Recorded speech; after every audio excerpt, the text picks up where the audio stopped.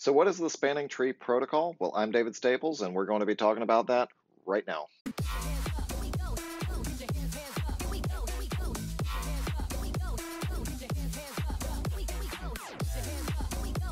So if you're just looking for a brief overview of what the spanning tree protocol is, if you're studying for your Network Plus uh, or perhaps even your Security Plus and you've come across this video, uh, or maybe even just kind of starting into the Cisco CCNA or CCENT world, uh, we're just going to talk about what it is just very briefly here. We're not going to go into a whole lot of detail. We're not going to talk about the different versions of it or how to configure it. Uh, that can all come in a future video here very soon.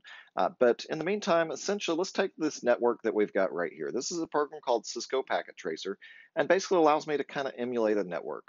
Now, you'll notice that I've got these one, two, three, four switches here that I've got kind of a loop there, right? So essentially, let's say that this PC sent in a broadcast type of packet. And that broadcast basically would then be sent out every other port, right? So what's going to happen with that packet? Well, we know that it's going to come from here into this switch 4, down to switch 3, switch 1, back over here to switch 5, and it's going to basically just keep on going in this loop. Well, that's not a good thing because we know that as our packets move across the router, it will actually decrement that time to live field by 1.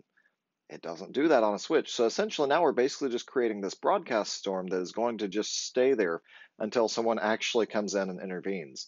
So not a good thing. So the spanning tree protocol essentially allows us to basically put a block on one of these ports. And you can actually see that right here. So where it shows this little orange light, essentially what's happening here is it has detected that as it goes through the spanning tree election process, it basically figures out we've got this loop. We need to actually put a block right here. So it automatically blocks any sort of traffic from coming in and out of that port. Pretty neat stuff, right? So as I mentioned, there are various different versions of spanning tree. Uh, there's a lot of detailed configuration information that we'll go over in another video. I hope you stay tuned for that.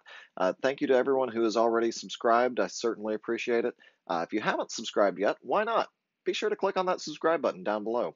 Also, be sure to click on like if you like the video, and if you've got any questions as you're studying for one of these exams, be sure to leave those in the comments below. I can usually answer those pretty quickly. Uh, anyhow, look forward to seeing you guys in a future video. You guys take care. We'll see you soon.